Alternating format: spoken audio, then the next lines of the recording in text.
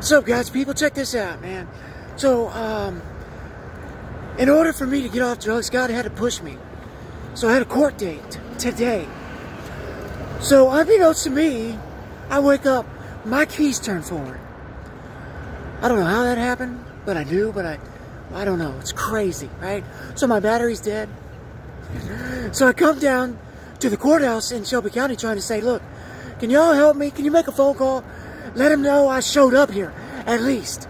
Nobody would help me. They locked their doors, they shut their doors. They're trying to get me arrested with a warrant and out of this town. That's what they're trying to do. What they don't understand is the tower is about to smack. Hit smack down. Right in the middle of this town. Hallelujah. Because God's going to make sure it happens. Here's the thing. They think they've won. What they don't understand is they don't believe in God. They don't. They don't believe in the power of the Almighty.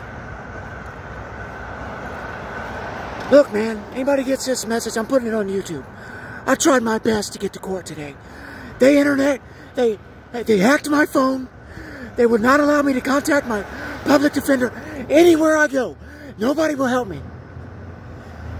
I've never heard of a public defender's office that doesn't allow you to leave a freaking voice message. I've tried everything in my power. Everything. Nobody's helping me. Listen to me. I am Mitchell Height. I had court today, October 25th. And I tried to get there.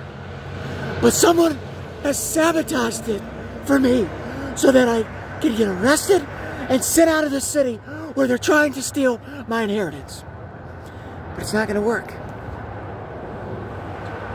Thanks for listening.